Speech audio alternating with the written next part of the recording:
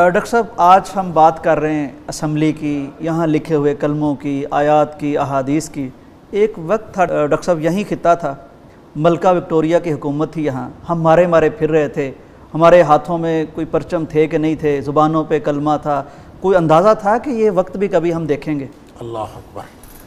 आपकी इस बात से मुझे वाल साहब रहमा का एक वाक़ याद आ गया। माशा अजीम शख्सियत। जिससे मैं ये समझता हूँ कि इस अपने माजी को और अपने हाल और अपने मुस्तबल को हम देख सकते हैं और एक इसका तजिया कर सकते हैं। ज़रूर।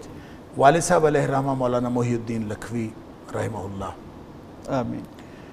वो फरमाते हैं कि मैंने पार्टीशन से पहले हम चूँकि ज़िला फ़िरोज़पुर लखों के ज़िला फ़िरोज़पुर से हैं तो वाल साहब फरमाते हैं कि पार्टीशन से पहले मैंने एक ख्वाब देखा कि ख्वाब में हिंदुस्तान के सारे बड़े बड़े एक जनाजा पढ़ने के लिए तैयार खड़े हैं। ठीक। और उनकी जो सफ़ है वो सीधी नहीं है बल्कि यूँ गोल सफ़ है। ठीक ख्वाब में देखा। कर्व में है ख्वाब में देखा। और उसके सामने मैयत पड़ी हुई है और वो कहते हैं मैं देखता हूँ कि वो मैयत मलका विक्टोरिया की है। अच्छा। और वो कहते हैं मैं हैरान होता हूँ कि उलमा को क्या हो गया काफिरा के जनाजा पढ़ने के लिए खड़े हुए हैं। ठीक। तो फरमाते हैं कि मैं सबसे बाहर निकलता हूँ और मैंने पुरजोश आवाज़ में सारे उलमा को मुखातब करके कहा कि तुम्हें क्या हो गया है कि काफरा का क्या काम कर रहे हो? बिल्कुल। क्या कर रहे हो? कहते बस मैंने ये कहा तो मेरी आँख खुल गई। इतना ख्वाब देखा। बस ख्वाब इतना ही देखा। उसके बाद कहते हैं भूल भुल आ गया बहरहाल मैं सोचता रहा कि क्या ख्वाब है समझ नहीं आई। उसके बाद पार्टीशन हुई और पार्टीशन सैंतालीस में। सैंतालीस में हम माइग्रेट हो गए पाकिस्तान में आ गए। फिर 1951 में इलेक्शन हुए और उस वक्त वन यूनिट था और एमएलए का इलेक्शन होता मेंबर ऑफ़ लेजिस्लेटिव असेंबली तो वालिद साहब रहमा इलेक्शन में एम एल ए मुंतब हुए लेजिस्लेटिव असेंबली। और वो जिन्होंने कानून साजी करनी थी उस वक्त और बल्कि दस्तूर साजी। हाँ जी वो असम्बली जो थी वो यही पंजाब असम्बली की बिल्डिंग थी। वाह। जिसमें आज हम देखते हैं कि नई बिल्डिंग के अंदर नबी अकरम सल्लल्लाहु आयात लिखी हैं हदीस लिखी है। अल्लाह तो वाल साहब फरमाते हैं कि पहले ही दिन जब हम हल्फ पढ़ने के लिए वहाँ पे मौजूद थे तो तरीक़ाकार ये था कि सब लोग अपना अपना हल्फ पढ़ के हल्फनामा जो भी इबारत थी वो पढ़ के पढ़ने के बाद वो आ, जाते थे स्पीकर के साथ मुसाफा करते थे वहाँ साइन करते थे मुसाफा करके वो निकल जाते थे बाहर और पिछले दरवाजे से दोबारा आ जाते थे। ठीक। वो कहते हैं उसकी इबारत हलफनामे की यही थी कि हम आइन के पाबंद रहेंगे आइन की हदूद की पाबंदी करेंगे आइन की हदूद की पासदारी करेंगे। तो वाले साहब कहते हैं मैं बैठा सोचता रहा कि आइन अभी हमारा बना नहीं। हम्म, हम्म, उसमें पता नहीं क्या आएगा। और पता नहीं उसमें क्या होगा और अल्लाह रसूल का इसमें नाम ही कोई नहीं है। जिसके लिए कुर्बानियाँ दी जिसके लिए कुर्बानियाँ दी हैं। तो मैं सोचता रहा कि मैं क्या हलफ पढ़ूँ और क्या मैं दस्तखत करूँ और किस बात की मैं वफादारी कर का जो यहाँ पे ऐद करूँ।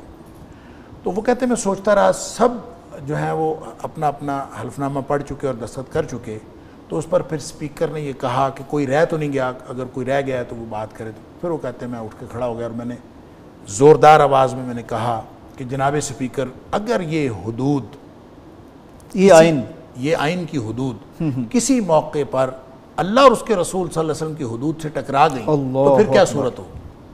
बहुत वैलिड क्वेश्चन वो कहते हैं मैंने ये सवाल किया अब स्पीकर भी खामोश और पूरे हाल के अंदर शायद उन्होंने इस तरह सोचा नहीं था। सन्नाटा छा गया बल्कि बाद में हमने उसका ना, मेरे जो भाई हैं, डॉक्टर हमूद साहब, उन्होंने असम्बली की कार्रवाई से वो उस दिन का वो वर्क निकलवाया। और उसके अंदर ये भी लिखा हुआ है कि, उस प्रोसीडिंग के अंदर लिखा हुआ है कि जब उन्होंने ये कहा तो इधर उधर से छोटी छोटी आवाज़ें भी आएँगी। हम भी मुसलमान हैं। कुछ इस तरह से लोगों ने छोटी छोटी आवाज़, यानी जो काना फूसी करते हैं, बस इस तरह से। लेकिन किसी ने कोई आवाज़ नहीं। अलबत् दो लोग वाले साहब फरमाते उठे। एक मौलाना अब्दुस्तार न्याजी मरहूम रहमहुल्ला। वो उस वक्त बिल्कुल जवान थे यंग थे वो कहते हैं वो उठे और उन्होंने गर्जदार आवाज़ में कहा कि अगर ऐसी सूरत हुई कि ये किताब सुन्नत से टकराई ये हदूद तो हम इन हदूद को छोड़ दें।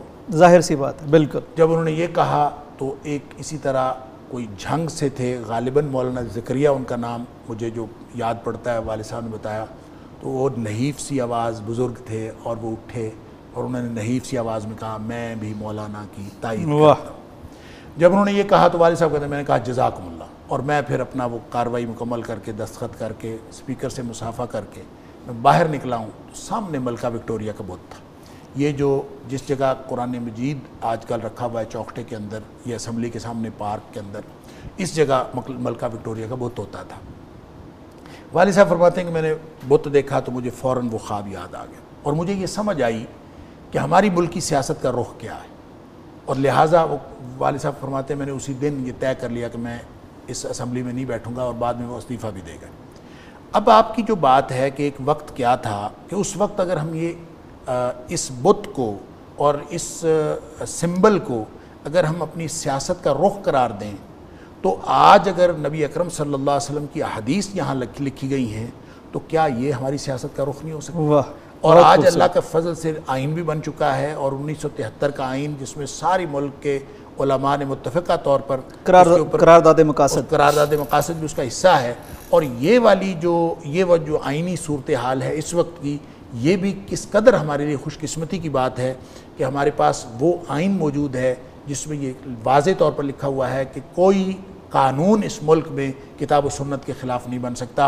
और आज अल्लाह के फजल से उसी असम्बली में नबी अकरम वसल्लम के ख़त्म नबूत की हदीस लिखी गई है। तो इससे ये फोर्सी किया जा सकता है और ये इसके अंदर खुश आइंद तस्वुर बजा तौर पर किया जा सकता है। हमारी सियासत का रुख भी ठीक हो चुका है, हमारे मुल्क का रुख भी ठीक हो चुका है और अल्लाह के फजल से ये इस्लामी जमहूरिया पाकिस्तान सही मानों में इस्लामी जमहूरिया पाकिस्तान बनने जा रहा है। जिस मुल्क की असम्बली ख़त्म नबूत की चौकीदार बन जाए उस मुल्क के अंदर अल्लाह के फजल से खैर ही खैर होगी।